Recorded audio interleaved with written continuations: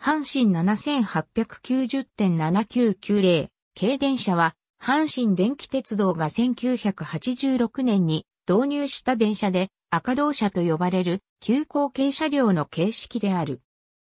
3801.3901系の戦闘車2両を改造、改版し、向こう側線専用車として投入された。1974年に西大阪線延伸用として登場した急行用車両の3801.3901型は1977年までに4両編成3本の12両が製造されたが、1986年に第1編成の4両が脱線事故の頻発により廃車となり、残った4両編成2本の8両のうち6両は本線急行用の6両編成1本に蘇生変更され、8701.8801-8901型となった。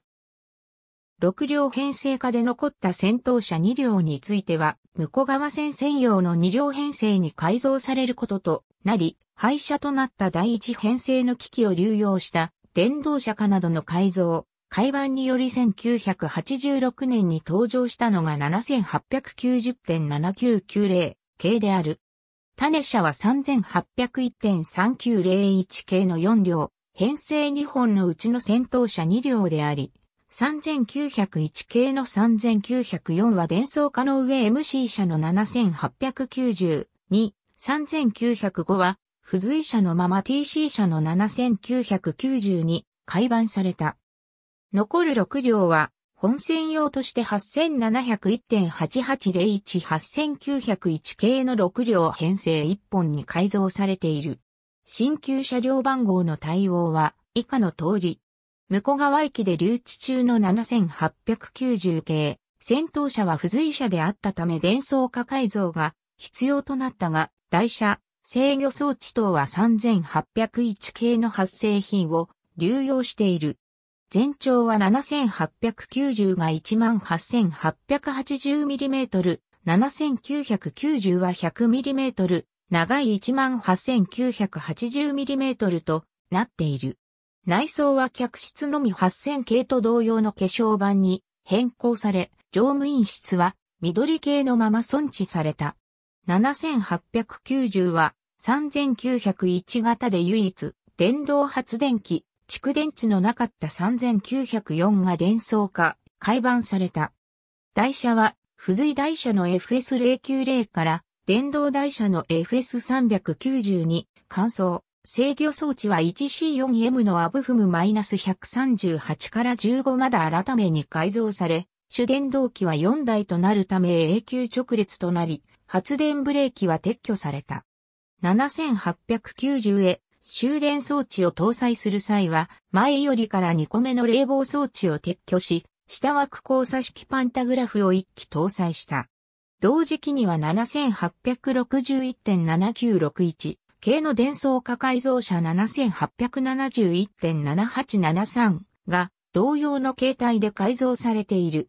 7990は3905より改版され、床下機器に大きな変更はないが、電動発電機の CLG-346 が新設されている。台車は改造前と同じ FS-090 である。電動車が偶数向きで1形式1両ずつのみとなっている。車両番号は7892.7992とはされず、阪神の営業用車では唯一例で始まる形式となった。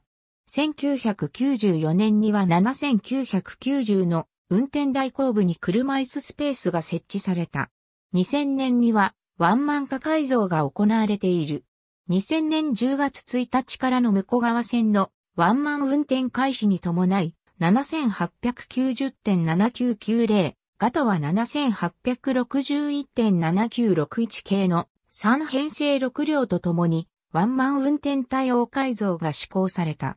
バンドン連結機から回り古式連結機への換装は実施されておらず、7890系の座席下に変差アダプタを収納している。7861.7961型とともに、向こう側線で運用されていた。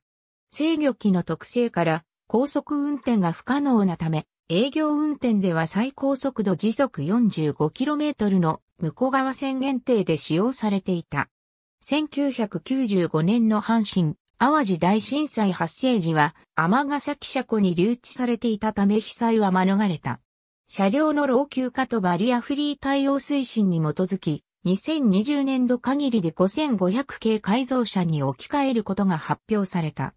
5500系への置き換え日は5月末とされていたが、新型コロナウイルス感染症の感染拡大防止のため6月以降に延期された後、2020年6月2日をもって赤道車の営業運転を終了した。運行終了後、尼崎車庫で社員限定の撮影会が行われた。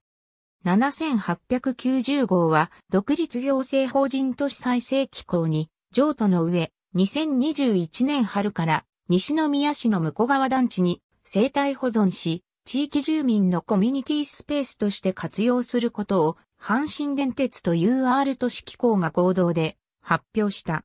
運用を離脱した7890号7990号のうち7990号は2020年6月12日付で廃車となった。廃車後の7990号は深夜にトレーラーによる陸送でリサイクル工場へ搬出され工場内で解体されている。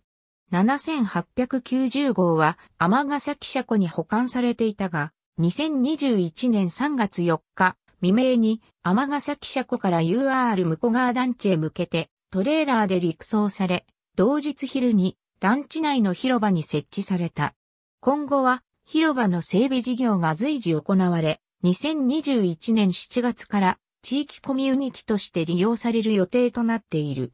2006年4月1日現在、